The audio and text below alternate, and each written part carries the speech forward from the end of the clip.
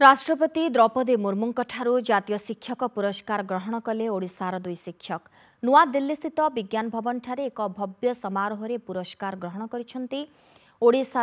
दुई गरिसस्वी शिक्षक कलाहा ज छैन उत्सगीकृत स्थित जयदुर्गा उच्च विद्यालय शिक्षक संतोष कुमार कर सन्तोष कुमारयगडा जनजाति पला शिक्षासप समर्पित